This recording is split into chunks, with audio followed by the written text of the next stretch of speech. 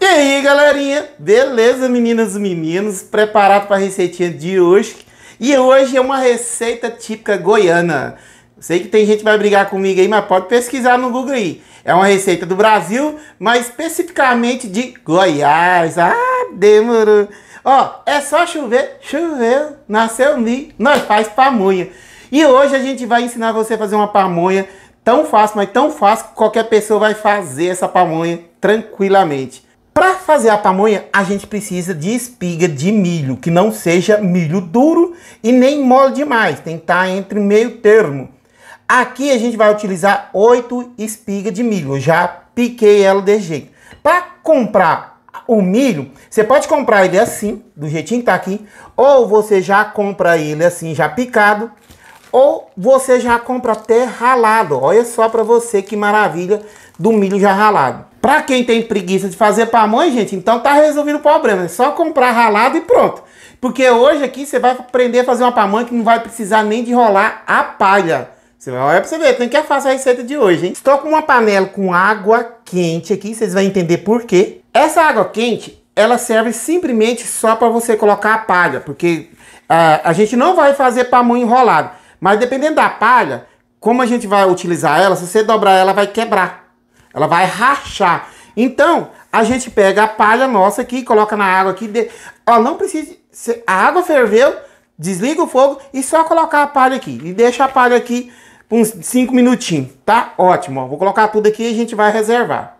Se onde você mora não tem como você comprar o milho já ralado, o que, que a gente faz? Compra oito espigas e vamos cortar aqui, ó. Quando você estiver cortando seu milho, não corta muito no sabuco. Porque senão sua pamonha vai estar com gosto de sabuco, né, Thaís? então vamos cortando aqui o nosso aqui, ó. No liquidificador, a gente vai pegar o milho que a gente picou e vai colocar aqui pra gente bater, ó. Por isso que é vantagem você comprar milho já ralado, né? Sai mais vantajoso. Você não bate tudo de uma vez não, porque pode forçar o liquidificador. Então você coloca a metade e vamos colocar 200 ml de leite se você não gosta de leite, não tem leite, coloca água, mas não vai ficar gostoso igual é com leite, né? Agora a gente vai bater. Agora vamos colocar numa vasilha aqui, ó. Vou colocar o restante do milho sem meia de leite. E cuidado para não ficar muito ralo. Prontinho. Pronto. Ó, a diferença desse aqui que ralou lá na feira, ele não colocou milho ou leite. milho tem, né, Tamisa? Então ele já fica molinho, mas porque ela é uma máquina, né? Deixa eu ver aqui. Deixa eu colocar um restinho aqui só de leite, só pra ficar gostoso. Pronto. Um vai ser de doce, outro vai ser de sal. Numa vasilha, a gente vai pegar aqui, ó, umas 100 a 150 gramas de manteiga ou margarina de boa qualidade. Essa manteiga que a gente está esquentando aqui, ou pode ser manteiga de porco, que também fica, ó, delicioso. Ou se não tiver manteiga ou manteiga de porco, pode ser até com óleo. Uns 150 ml. É para escaldar a massa do milho. É, isso aqui é uma receita típica de Goiás. Todo mundo faz assim. Eu sei que tem região que acha isso errado. Mas quando você escalda a massa do milho da pamonha, deixa a massa mais leve. Ó, ferveu o óleo ou a manteiga que você estiver fazendo, vamos dividir aqui a metade aqui, ó. E a outra metade aqui, ó. Agora a gente mexe aqui. Mexe a outra aqui também. Mexe as duas. Ó, misturou bem. Agora a gente vai temperar ela. Uma com doce e outra com sal. Para temperar de doce, Deus, como que a gente faz? Açúcar, leite condensado. Uh, rapaz, tudo de bom, né? Para temperar o de doce, quando você temperar, você experimenta, você, você, assim, você tempera um pouquinho passando. Fala assim, nossa, vai ficar doce demais. Não vai. Quando o milho começa a cozinhar, é, o milho, a massa, vai virando a pamonha, né, Tamisa? Vai uhum. virar pamonha? Não sei, né? Vai. Não sei. Aí ela absorve o açúcar e no fim acaba ficando sem doce. Então, cuidado. E a mesma coisa de sal. Sempre um pontinho a mais. Mas isso é a gosto. Não tem problema. Aqui, como aqui tem praticamente um quilo, um quilo e cem de massa de milho, você coloca uma xícara de chá de açúcar. Aí vai mexendo, mistura e experimenta ao seu ponto. Ou se não, eu vou temperar aqui com leite condensado, tá? Milho do céu, tem que ficar bom demais. ó, vou colocar aqui, ó, a minha caixinha, não tá cheia não, mas é quase uma caixinha de leite condensado. Agora vamos misturar o doce aqui. Ó, misturou bem, aí você experimenta para ver se tá bom de doce ao seu gosto. Agora vamos temperar de sal. A de sal eu vou colocar aqui uma colherzinha de chá rasa e depois eu vou experimentar. Na de doce, aqui em Goiás, ou às vezes tem gente que gosta, colocar erva doce aqui na pamonha. Mas isso é a gosto, viu gente? É, se você gosta de erva doce, só pega um pouquinho de erva doce, dá uma esfregadinha e joga aqui. Eu sei que fica gostoso. Não, na de sal experimentei, está ótimo. Estou com duas panelas aqui. Uma é cuscuzeira e essa outra aqui é para cozinhar legumes a vapor. Esse jeito de cozinhar pamonha é o jeito mais fácil e prático para quem não quer aprender a enrolar pamonha. Ó, cada uma das vasilhas a gente vai colocar água. Vou ver aqui se deu. Ó, deu para encostar? Tá bom. Vamos colocar água aqui.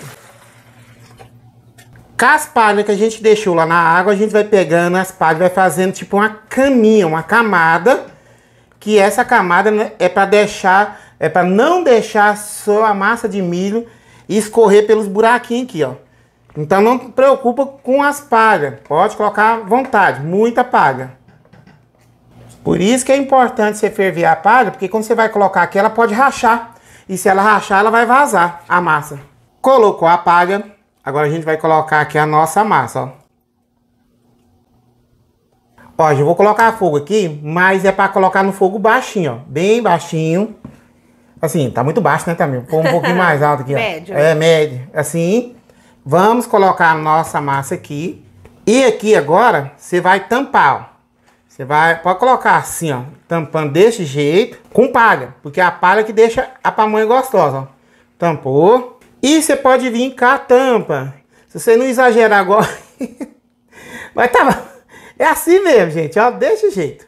Esse aqui, como tem esse negocinho aqui, ó, no meio, o que, que você vai fazer? Você vai pegar uma pá e vai furar, ó. Fura pra tampar, ó. Tampou. E agora você pode pegar as outras pá, ó, e fazer desse jeito aqui, ó. Pronto, ó, desse jeito. Acabei de colocar as palhas. Bom, vamos colocando aqui também. Essa aqui é de sal.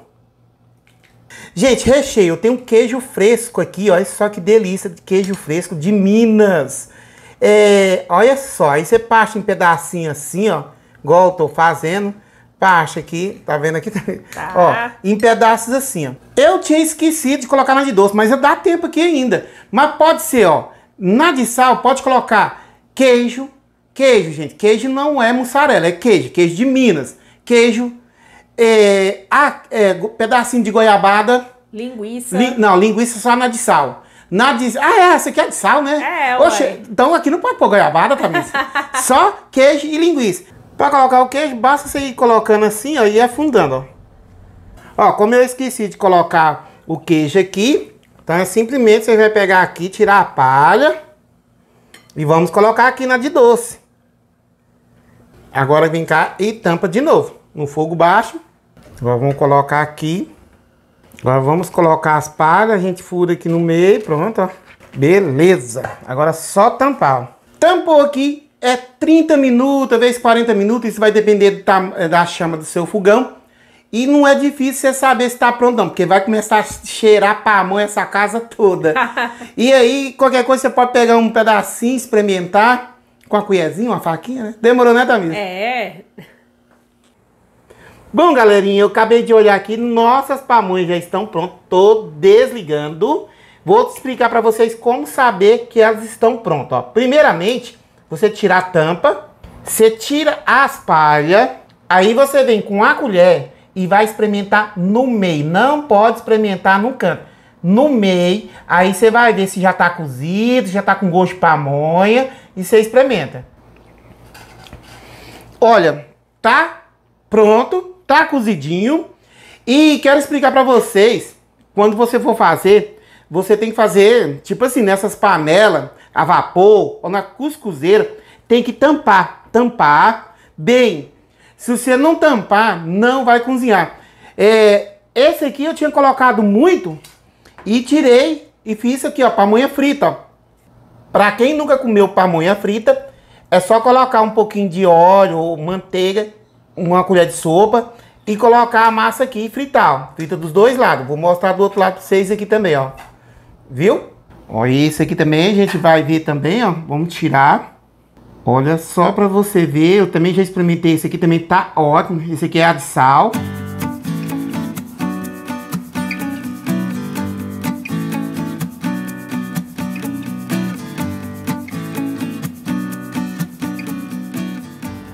Como vocês viram, eu coloquei pamonha de doce, pamonha de sal e pamonha frita.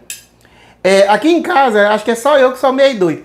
É, é o único que come pamonha de doce com de sal junto. Eu amo. E a pamonha frita. Gente, tá super gostoso. Ah, tô esquecendo, né? O tempo de cozimento, então pode variar, né? Eu falei, né, Camila? Ah, demorou, né? Acho que falou. É, então é só você olhar quando tá cozinhando. Uhul.